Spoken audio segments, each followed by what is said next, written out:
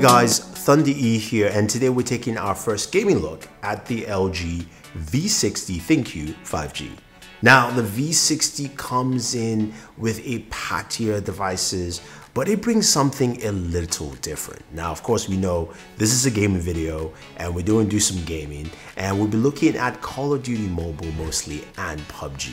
I had a short time with this device, I wanted to see how well it handled. Now, what makes the V60 different from other devices is what it packs in together. Now, standard uh, part of the course is the Snapdragon 865 processor. Does come with only 8 gigabytes of RAM for all models two different colors. There's a white and there's a blue color. Really nice color schemes over there. Uh, and the display is a 6.8 inch Full HD Plus display. Now, LG has packed in some of the things they do really well into this device. They said, look, RAM's not gonna be an issue.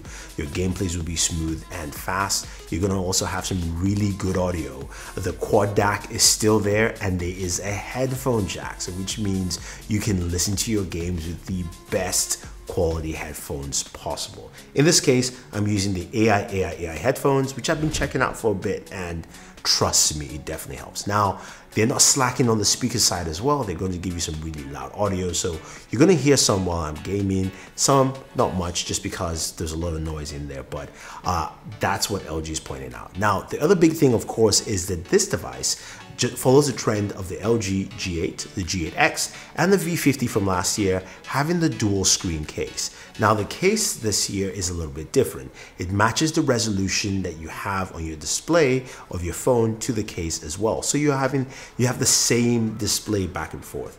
The other thing cool about the case is, as you guys know quite well, is that you can use it as a game controller. So you can map out controls for any game you want to uh, to go there. Now, I did ask for bumper buttons on the or trigger buttons on the case last year. There are no trigger buttons, but LG has talked about having different types of cases down the line. So we'll see if that actually comes through. But there are a couple of things you can do with this. You can also play both games at the same time. So you can have two games playing at once and we'll check some of that out. But let's go ahead and check out some gaming on the LG V60 ThinQ 5G. Unlock it. Uh, unlock it. Hold on one second. Dude, dude, Maybe I was just get some water. Close.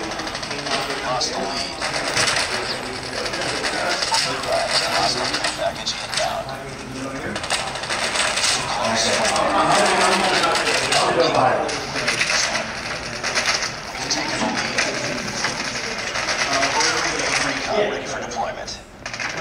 All right.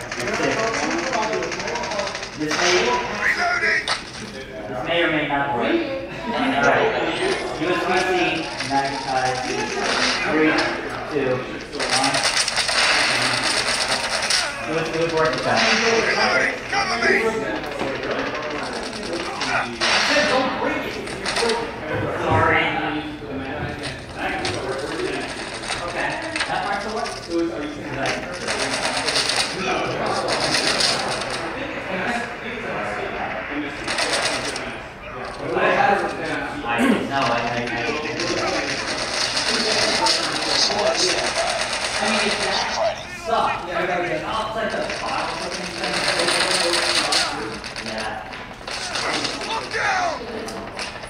UAV online.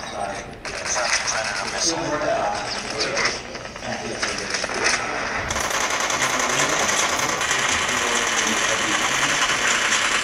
Cover me! Wait, is there a back in?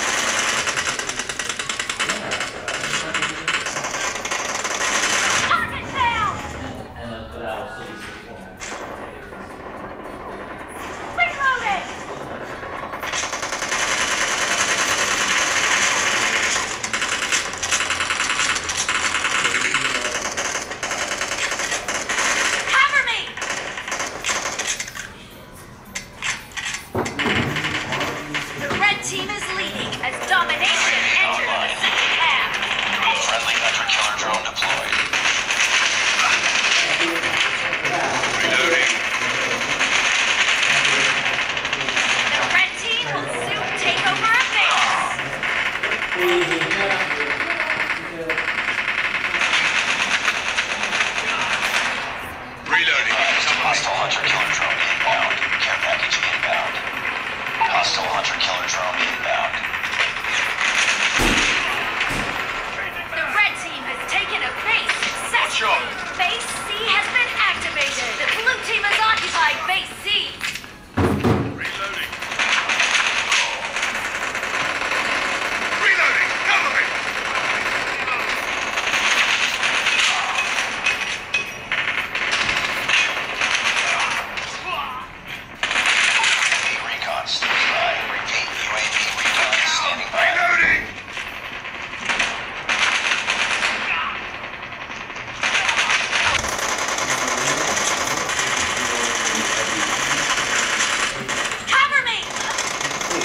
espectáculo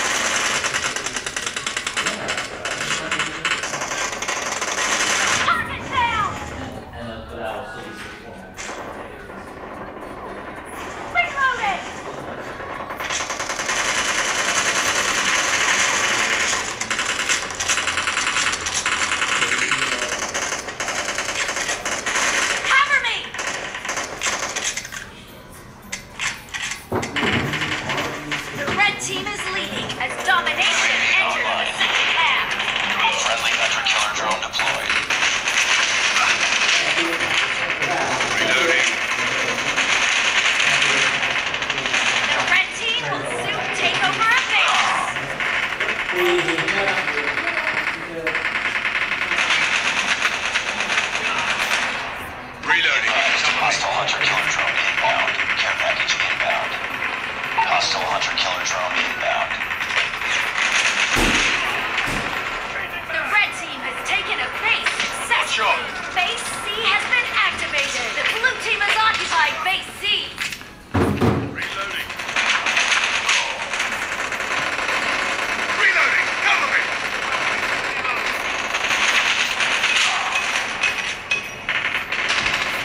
LG V60 ThinQ 5G looks to be really solid. Uh, gameplay handled well. I ran a bit warm, but again, I didn't actually measure temperatures with this at the event. So it's cool that you can switch between uh, two different games at the same time because you have both screens available. Uh, and audio comes from either top or the bottom for whichever game you're playing at that time. Now, the other cool thing, as I mentioned earlier, it's got a headphone jack, which is really, really nice. And I have to say also, the display is quite vibrant for a Full HD Plus display on the V50 ThinQ 5G. Uh, the other thing to note is the camera. I had a short time with the camera and I have to say I was quite impressed with what I saw. The camera tracking while you're in the viewfinder on the screen is really, really responsive. And the images also looked pretty good. Uh, we'll of course have some time to test the camera once we get it in-house and we do our full, of course, camera comparisons and a full gaming review for you guys right here. But right now, I think the V60 ThinQ is solid. And in terms of pricing, uh, they haven't given us official pricing that will come through carriers, uh, but expect to see a pricing vary a bit and also should be sub a thousand dollars. Now, I'll just say put this in a little caveat here. I'm hearing rumors that the T-Mobile version or anything with sub six only will probably be cheaper than anything with millimeter wave. So there you have it guys. If you have any questions or any comments about the LG V60 ThinQ 5G, if you're thinking of picking it up, or you want to see somewhat more content about this device, let me know. Otherwise, don't forget to like and share, subscribe, and always enjoy your entertainment.